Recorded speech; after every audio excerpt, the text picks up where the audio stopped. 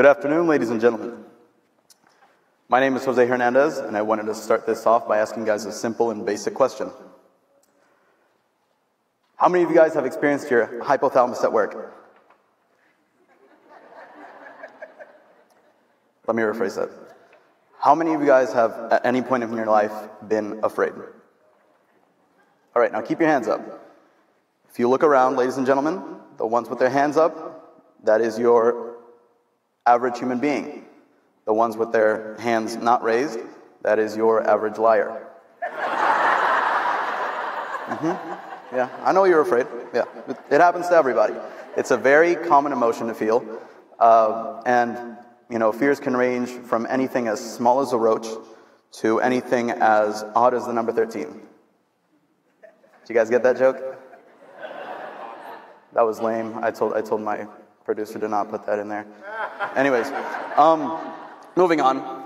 Uh, the first fear I'm going to be talking about is nyctophobia. If you guys know what that means, you can go ahead and shut that out. Right. It's uh, being afraid of the dark. Now, I don't care how old you are. At some point, you were afraid of the dark. If you were not, if you could go into a room at the age of three that was completely dark, and you could go five seconds without thinking of a monster, you are my hero. now, it's, it's, it's, a, it's a very normal thing to be afraid of the dark, mainly because you're missing one of your five major senses, and that's eyesight. If you can't see anything, you have no idea where the heck you're going. You could be afraid of bumping into a wall for all I care. But you're afraid of the dark. And I'm hoping to enlighten you guys uh, on you know, fears and getting a deeper understanding of them so that maybe at some point you can conquer those fears. So that's a basic fear, uh, the dark. We're going to move on to a more ironic fear, okay? Uh, glossophobia. I know, I know. English, please. Uh, stage fright, glossophobia. Uh, I did go and I did experience glossophobia at some point. Obviously, I overcame it. Otherwise, I wouldn't be here. I'd be standing hugging that curtain over there. Uh, glossophobia, a lot of people would say, is the fright of being on stage and performing in front of a lot of people. That's obviously not the case because if you think about it, you aren't afraid of walking on a stage because anybody can come and walk on a stage. It's, it's ground. You're afraid of going on stage and messing up, like messing up, like I did just now, uh, in public. And you're afraid of that. You're, you're afraid of being embarrassed in front of a lot of people uh, and being judged for the errors that you've committed.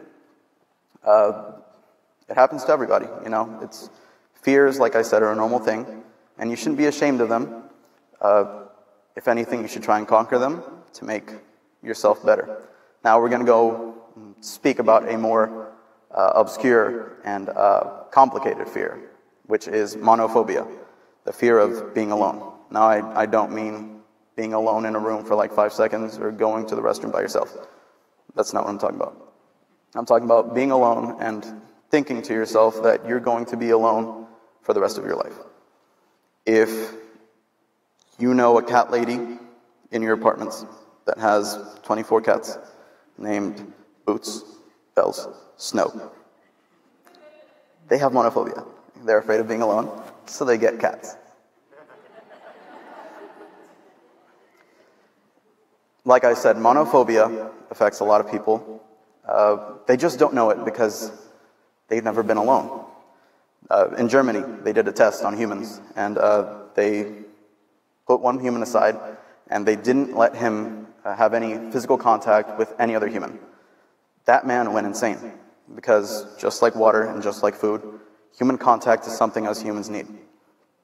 We can't, maybe we can spend, what, two, three days without it, but after four days, if you find, I don't know, like a piece of lint on the ground, you're going to start talking to it.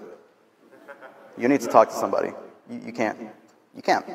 Um, so, yeah, like I said, uh, that's what I'm here for, to explain to you guys these little bits and pieces of fear and how maybe if you understand a fear, uh, you can better find a way to get over it. Like I said, uh, humans also have a very common fear called xenophobia, which is the fear of the unknown, or uh, strangers or foreigners.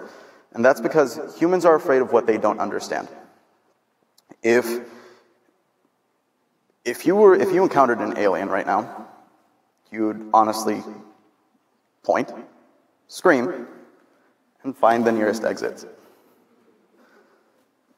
Xenophobia. But, like Theodore Roosevelt once said, or I believe it was Franklin D. Roosevelt actually, uh, he said, the only thing we have to fear is fear itself. So I hope you guys gained anything from this, and I hope that you guys conquer your fears.